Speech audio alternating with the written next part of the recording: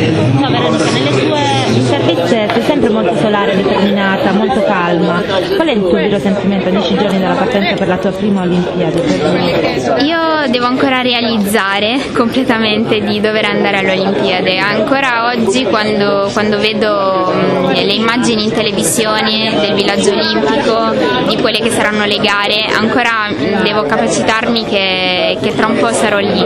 Credo che quando prenderò l'aereo inizierò a prenderne veramente consapevolezza e sono emozionatissima e non voglio immaginare come sarò quando, quando arriverò lì. Credo che eh, dovrò veramente cercare di, di rimanere molto calma e, e concentrata perché l'Olimpiade è sempre qualcosa di, di, più grande, non ha niente a che fare con il campionato europeo il campionato mondiale. Già quest'anno mi sono trovata eh, catapultata nel, veramente nel mondo dell'atletica con tutti questi eh, campionati che sono stati campionati mondiali, campionati europei, gli ultimi che ho fatto.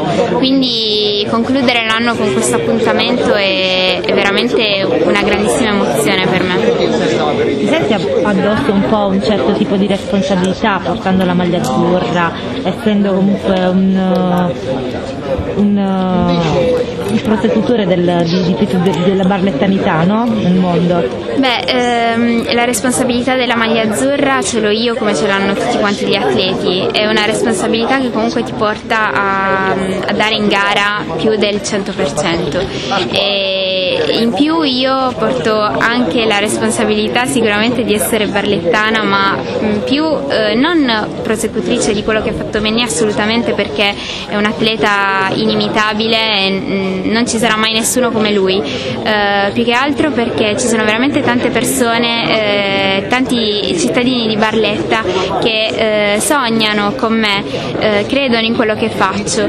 quindi mi dispiacerebbe troppo deluderli e questo mi, mi fa veramente dare il massimo in ogni mia gara. Oltre all'Olimpiade di quest'anno di Rio e del, del, dei mondiali del prossimo anno, qual è il tuo sogno nel cassetto? Beh, ehm, intanto il mio sogno nel cassetto era questa Olimpiade e si è realizzato. Eh, adesso più che sogni sono tutti obiettivi e sicuramente sto puntando all'Olimpiade che sarà tra quattro anni, eh, però non su 10.000 perché dall'anno prossimo iniziamo ad allungare le distanze e iniziamo ad andare sulla maratona. In bocca al lupo Veronica. Crepi, grazie. Veronica secondo me a Rio, come ha dichiarato anche lei, farà sicuramente una grandissima esperienza.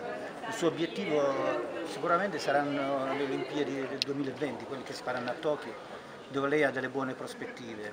Adesso secondo me Veronica deve sfruttare al massimo le sue capacità perché dopo questi piccoli infortuni che ha avuto che l'hanno bloccata almeno un paio d'anni, finalmente ha i suoi grandi risultati.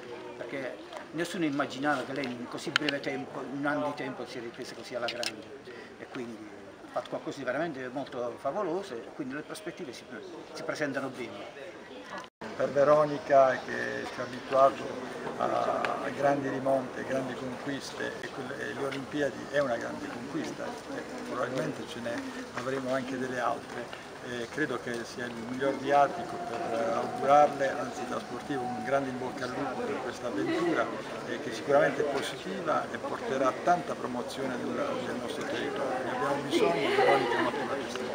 La sua umiltà, la sua umiltà ma la sua capacità